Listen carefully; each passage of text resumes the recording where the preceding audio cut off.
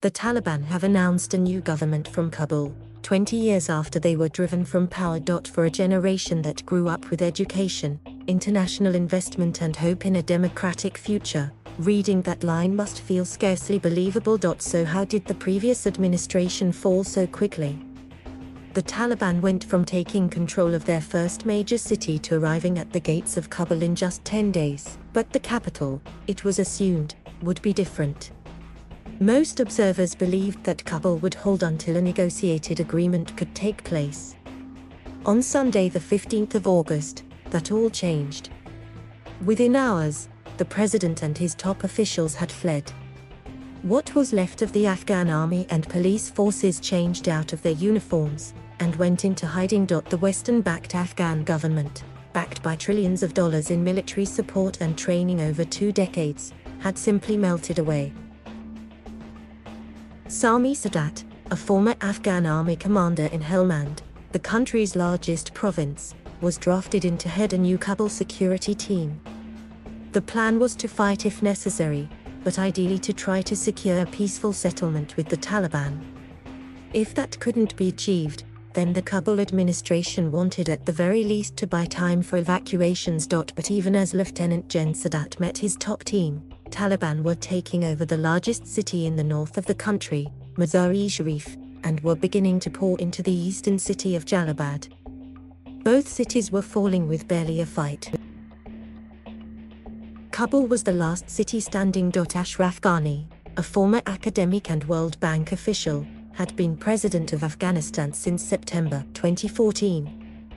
Critics within the Afghan government told us he had consistently failed to assess the Taliban threat accurately during the final weeks of their advance. But no doubt at the forefront of his mind was the fate of former President Mohammad Najibullah.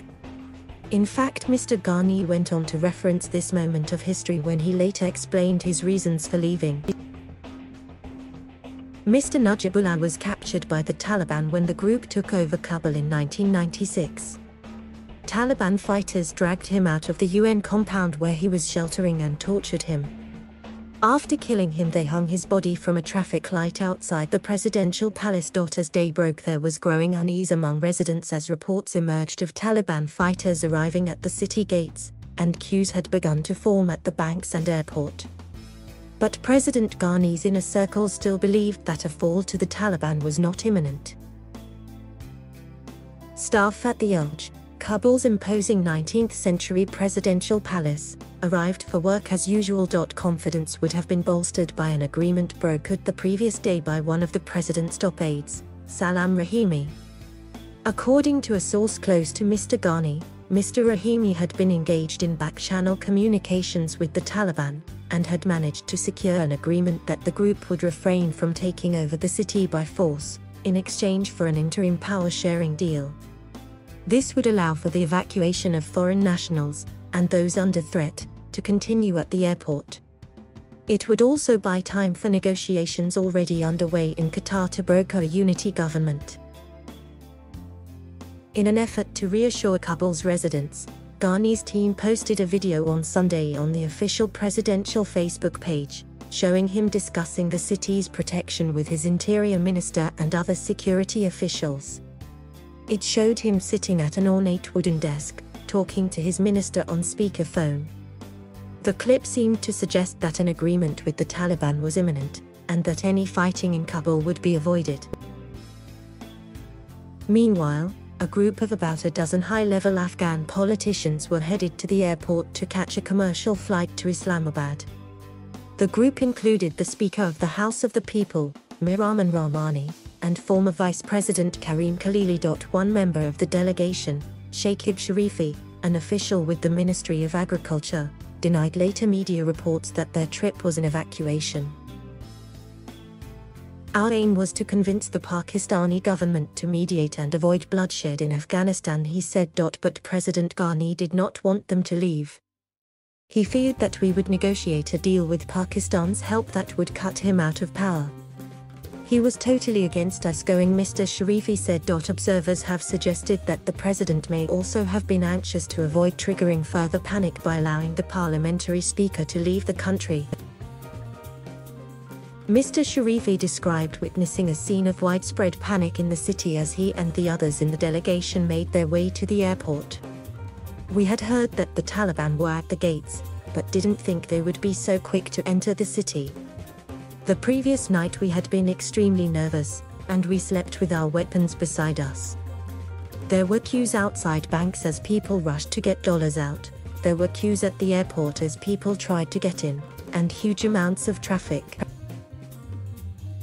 The traffic was so bad that former Vice President Khalili, who was traveling separately to the others, had to get out and walk the last 15 minutes to the airport to make it in time. Once at the airport, the group was receiving regular updates reporting Taliban advances. Every minute we received reports that the Taliban had captured key places in the city. It was frightening. Inside the airport, all semblance of order had collapsed. Soon, border officials and airport security personnel began disappearing, leaving their stations unmanned and passengers unscreened. People began to pour onto the tarmac. Eventually, the delegation made it onto its Pakistan International Airlines flight. But the plane was ordered by air traffic control not to take off, and to await further instructions. We thought that at any minute Taliban militants could take the airport, said Mr. Sharifi. We thought of ways to defend ourselves should they get onto the plane, using what we had. The only thing I could use that was heavy enough was a laptop battery. Back at the presidential palace, the situation was also deteriorating.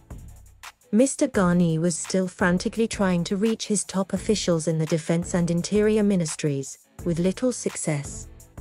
We were expecting some sort of guidance from the palace. But nothing came. Mr. Mohib, the 38-year-old Western-educated former Afghan ambassador to the US, was perhaps Mr. Ghani's most trusted aide. Despite him having no military or security background, Mr. Ghani made him his national security advisor in 2018, putting him in charge of crucial military decisions.